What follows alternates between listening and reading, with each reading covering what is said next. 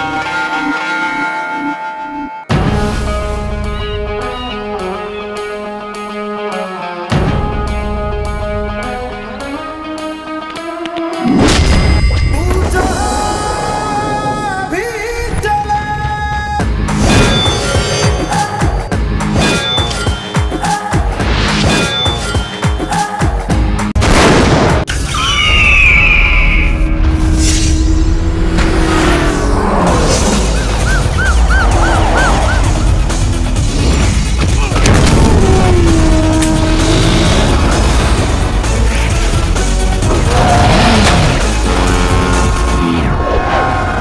ചരിത്രങ്ങൾ സൃഷ്ടിച്ചിട്ടുള്ളത് എന്നും സാധാരണക്കാര് വെറും സാധാരണക്കാരാണ്